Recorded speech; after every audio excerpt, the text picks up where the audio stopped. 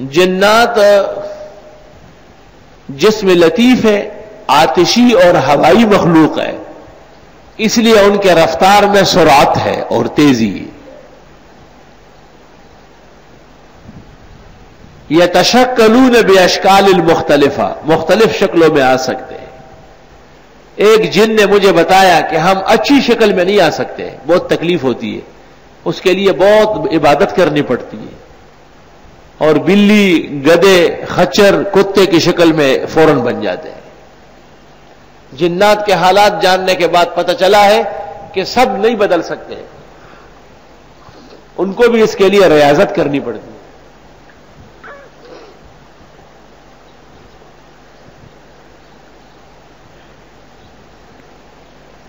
उनमें सिर्फ़ एक मखलूक है जो बहुत हसीन जमील है। उनके बारे में कहा जाता है कि उनकी माँ जो थी, वो जिन, वो जिन्नीय थी और बाप जो था, वो इंसान था।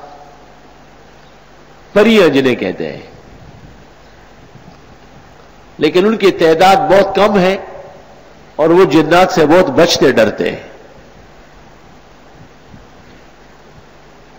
ऐसा मालूम होता है कि कदीम जमाने में इनकी तादाद कुछ ज़्यादा थी। क्योंकि जिन्नात उमूमन उन्हें कत्ल करते रहते हैं। जिन्नात के ऊपर भी एक मखलूक अल्लाह ने पैदा की है। उनको मुक्कलात कहते हैं। और वो सूरतों के पढ़ने से पैदा मुकर हो जाते हैं। मसलन सूरत मुजम्मिल के चालीस मुवक्किल है। जो शख्स सुबह शाम पढ़ेगा चालीस मुवक्किल, उसकी हिफाजत के लिए खड़े हो जाते हैं। शायद किसी और सूरत के इतने ज़्यादा नहीं है, जिस कदर सूरत मुजम्मिल के हैं। लेकिन इस मकसद के लिए पढ़ने के लिए ज़रूरी है कि किसी मशाक तजुर्बाकार आमिल से इजाज़त ले ले, ताकि बजाय फ़ायदे के नुकसान इस इरादे से ना हो, तिलावत करें, फ़ायदा होगा।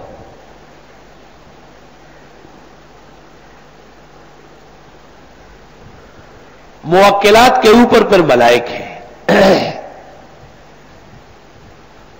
बाज हजरात मुक्लात के वजूद का इनकार करते हैं लेकिन यह ठीक बात नहीं है काजी बदरुद्दीन शिबली ने आकामुल मरजान में तस्लीम किया है और बर रास्त खुद आते जाते हैं मुलाकात करते हैं काम करते हैं वक्त यहाँ एक जिन्नी आती थी हमारे एक साथी को तंग करती थी बहुत ज़्यादा पुराने लोग सब जानते हैं खुल्लम खुल्ला आती थी बिल्कुल तो मुक्लात आए और एक विरत के बाद वो पकड़ के ले गए उसको कैद कर लिया उसको ईद की रात मुझे कहा कि आप कहें तो आज़ाद करते हैं।